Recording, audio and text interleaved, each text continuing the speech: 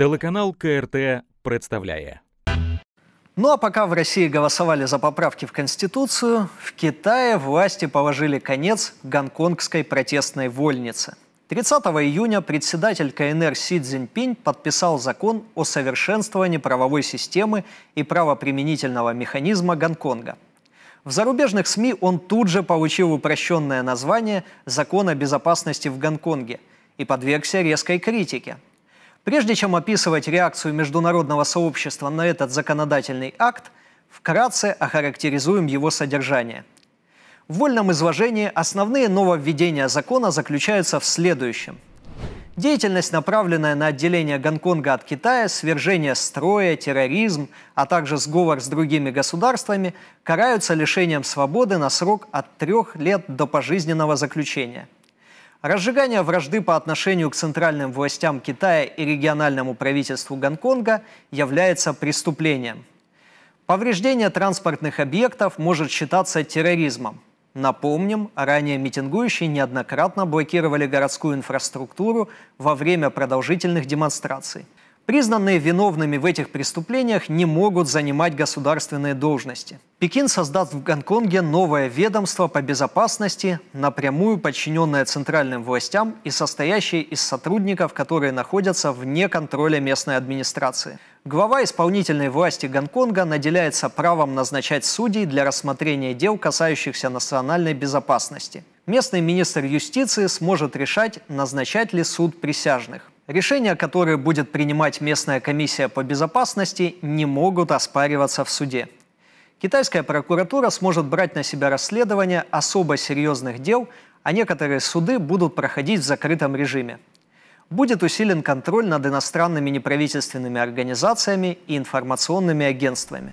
У зрителей незнакомых ситуаций может возникнуть недоумение относительно того, почему данный закон в Китае был принят только сейчас – ведь для жителей большинства стран на нашей планете прописанные в нем положения отнюдь не удивительны. В чуть более мягкой или чуть более жесткой форме они содержатся в законодательстве любого государства. Например, призывы к нарушению территориальной целостности, сепаратизм или свержению конституционного строя караются абсолютно в любом государстве.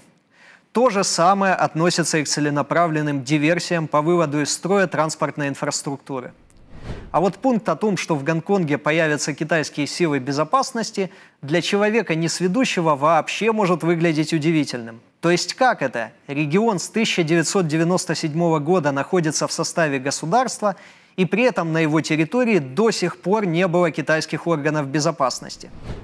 Отвечаем, да, не было. В 1997 году Гонконг возвращался в состав Китая на основе принципа «одна страна, две системы». Последний предполагал, что центральное правительство КНР не будет окончательно синхронизировать законодательство бывшей британской колонии со своим собственным как минимум до 2047 года. В частности, на территории Гонконга не были образованы подразделения китайских органов полиции и госбезопасности. Вместо них порядок в городе продолжала охранять местная полиция, доставшаяся в наследство от периода британского владычества – Местные полицейские подразделения экипированы и обучены гораздо хуже, чем их коллеги из материкового Китая. Их должностные инструкции гораздо более мягкие и щадящие. Они не рассчитаны на подавление массовых, хорошо скоординированных протестов, подобных тем, что начались летом прошлого года. Напомним, около года назад в Гонконге с подачи Пекина попытались принять закон об экстрадиции – согласно которому местных жителей, совершивших преступления за рубежом, могли выдавать в те страны, с которыми нет соответствующего соглашения у Гонконга, но есть у КНР. Местная либеральная и пробританская общественность возмутилась такими намерениями, в результате чего все прошлое лето и часть осени в Гонконге прошли под знаком массовых беспорядков. Со временем лозунги и действия митингующих становились все более радикальными, а страны Запада оказывали им все более явную поддержку. В частности, один из лидеров протестного движения гонконгеров, именно так называли себя митингующие, подчеркивая собственное отличие от материковых китайцев – по имени Джошуа Вонг в 2019 году успел побывать с визитами в Германии и США, где выступал с лекциями о свободе и демократии в Гонконге, попутно встречаясь с высокопоставленными дипломатами. Во время визита в ФРГ с ним даже встретился министр иностранных дел. Как видим, причины для ужесточения законодательства в вопросе наведения порядка и обеспечения безопасности в Гонконге у Китая были, равно как и у западных партнеров были причины осуждать подобные действия. С момента возвращения Гонконга под власть Китая в 1997 году регион оставался форпостом, через который Британия и ее союзники пытались проецировать свое влияние на Китай – и сохранять контроль над экономическими потоками в этом важном портовом городе. Сказать, что город был наводнен агентами иностранного влияния, это ничего не сказать. Лоббисты британских интересов пробрались даже в местное законодательное собрание. Сегодня западные источники с упоением цитируют их критику в адрес нового закона. Вот, например, британская новостная служба BBC цитирует слова оппозиционного законодателя Гонконга Клаудии Мо – Цитирую. Целью китайского законодательства о национальной безопасности было шокировать Гонконг до состояния ничто. Люди будут настолько ошарашены, настолько напуганы и запуганы, что не посмеют ничего сказать или сделать, предпринять какие-то оппозиционные действия. Однако, похоже, шокированные до состояния ничто гонконгеры не поняли намеков китайских властей. И вот уже 1 июля, в день 23-й годовщины воссоединения региона с Китаем, все та же BBC радостно смаковала подробности свежих уличных беспорядков. Цитируем. 1 июля, в день 23-й годовщины передачи Гонконга от Британии Китаю, группы сторонников демократии заполонили улицы популярного торгового района города. Для их разгона полиция применила слезоточивый газ. И далее – Продемократические активисты заявили, что вопреки запрету проведут таки традиционный марш в этот день. Мы устраиваем шествие каждый год, и мы продолжим это делать, сказал агентству Рейтер Лен Квон Хун, известный гонконгский политический активист-ветеран. В соцсетях появились фотографии плаката от имени полиции, предупреждающего участников протестов о том, что по новому закону о безопасности может считаться преступлением – если вы демонстрируете флаги или плакаты, скандируете слоганы, показываете своим поведением такие намерения, как сепаратизм или подрывная деятельность, которые могут представлять собой преступления по новому закону о совершенствовании правовой системы и правоприменительного механизма Гонконга, вас могут арестовать и привлечь к ответственности, гласит плакат. Как мы понимаем, протестующие не восприняли написанное на плакате и самое главное в новом законе всерьез – за что и поплатились. Но интерес вызывает даже не это, а то, как события осветили в западных СМИ. Следите за руками. Вот что пишет нам журналист The New York Times Хавьер Эрнандес в своей статье о первых жертвах нового закона. Цитирую. В ходе этой первоначальной проверки закона в деле в среду был арестован мужчина, который развернул флаг Гонконга во время демонстраций, а полиция заявила в Твиттере, что его задержали за нарушение закона о национальной безопасности. Это был первый арест после вступления закона в силу, сказали в полиции.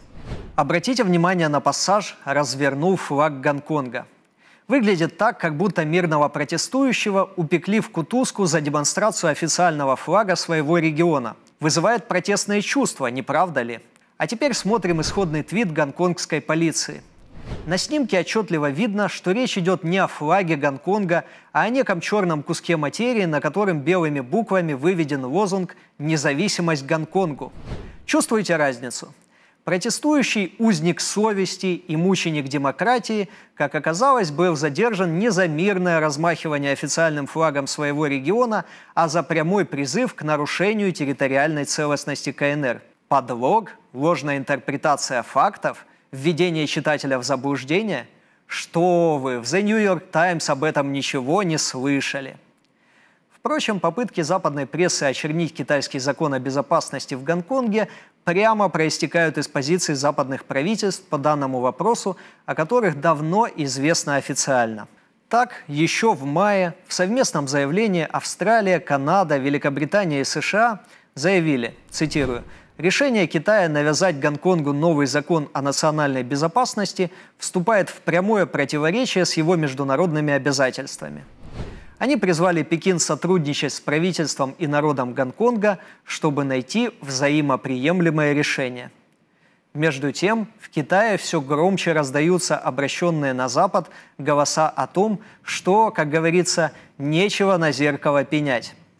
Так, 7 июля в гонконгской газете South China Morning Post вышла статья журналиста Мэтта Хо под названием как закон о национальной безопасности в Гонконге соотносится с законодательством других стран.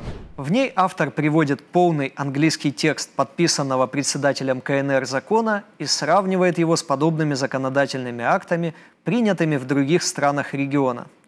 Цитируем публикацию.